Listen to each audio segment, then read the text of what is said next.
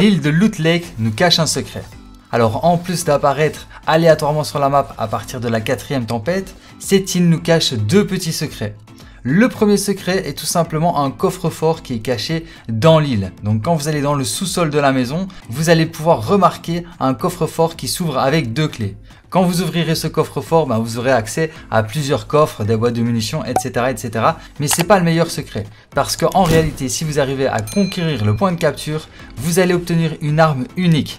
Cette arme, c'est le fusil à impulsion surcadencé. Et je peux vous assurer qu'elle est surcheatée. Et en plus de cette arme, vous allez avoir du bleuvage légendaire, qui est très utile aussi. Donc en soi, cette île historique de Fortnite va pouvoir vous donner du très bon loot, donc un très gros avantage pendant votre partie. Code créateur SCL.